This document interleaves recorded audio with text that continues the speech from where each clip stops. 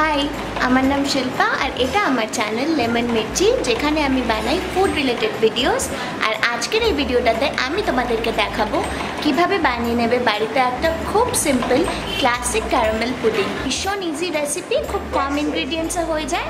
আর আমাদের মধ্যে অনেকেই এটা আমরা ছোটো থেকে খেয়ে বড় হয়েছি। যদি তুমি রেসিপিটা বানাতে না জেনে থাকো, তাহলে আজকের এই ভিডিওটাতে শিখে নাও খুব সহজে কীভাবে তৈরি হয়ে যাবে একটা খুব সুস্বাদু পুডিং চলো তাহলে স্টার্ট করি।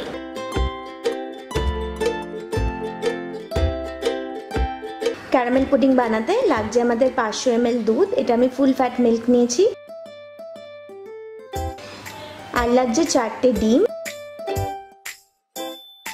Half teaspoon vanilla essence.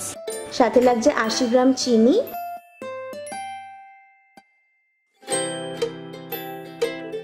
প্রথমেই দুধটাকে গরম করে নেব। দুধ ফুটে উঠলে পরে এর মধ্যে মিশিয়ে দেব ষাট গ্রাম মতো চিনি। তারপরে দুধটাকে সাইডে রেখে দেব ঠান্ডা হওয়ার জন্য।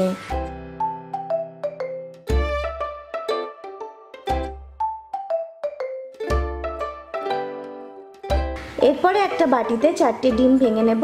তার মধ্যে মিশিয়ে দেব ভ্যানিলা এসেন্সটা।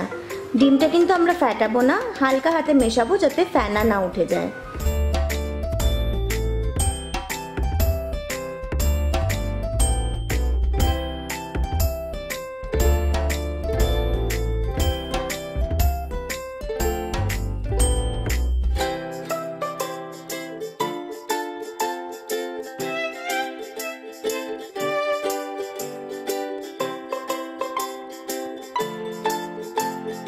এরপরে দুধ ঠান্ডা হয়ে গেলে পরে ডিমের মিক্সচারটার মধ্যে দুধটাকে ঢেলে মিশিয়ে রেখে দেব।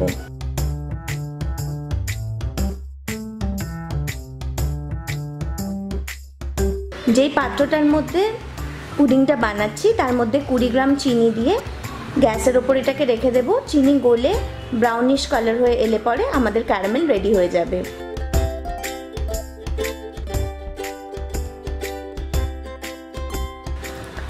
এবার এই বাটিটার মধ্যে যে ডিমের আর দুধের মিক্সচারটা আমি রেডি করে রেখেছিলাম, সেটা ঢেলে দেব।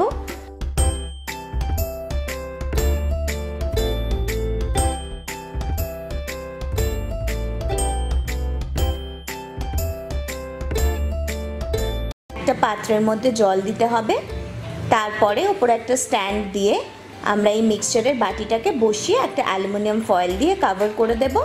তার উপরে পাত্রটার মধ্যে একটা ঢাকনা দিয়ে দিতে হবে। যদি আপনি এভাবে ডাবল বয়লারে না করতে চান, তাহলে পরে প্রেশার কুকারেও করতে পারেন। প্রেশার কুকারের ভেতরে একটু জল দিয়ে তার উপরে বাটিটাকে বসাবেন। তার উপরে ঢাকনা লাগিয়ে দেবেন, কিন্তু হুইসেলটা দেবেন না।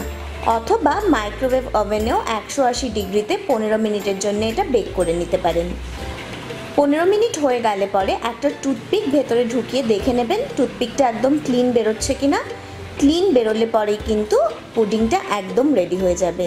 কিছুক্ষণ এটাকে রুম টেম্পারেচারে রেখে, তারপর এটাকে এক থেকে দেড় ঘণ্টার জন্যে ফ্রিজে সেট হতে দেবেন। এক থেকে দেড় ঘণ্টা পরে এটাকে বের করে নিলে পরেই কিন্তু ঠান্ডা ঠান্ডা পুডিং সার্ভ করার জন্য একদম রেডি হয়ে যাবে। যদি তোমাদের রেসিপিটা ভালো লাগে, তাহলে অবশ্যই আমার চ্যানেলে সাবস্ক্রাইব করবে। নিচে যেটা বেল আইকনটা যাচ্ছে ওটা ডেফিনেটলি আমি যখনই কোনো ভিডিও আপলোড করব, তোমরা সেটা সববার আগে দেখতে পাও। আজকে এই পর্যন্তই থাক, দেখা হবে পরের দিন। Bye I have made a very simple classic caramel custard. কি নাম ছিল? ক্যারামেল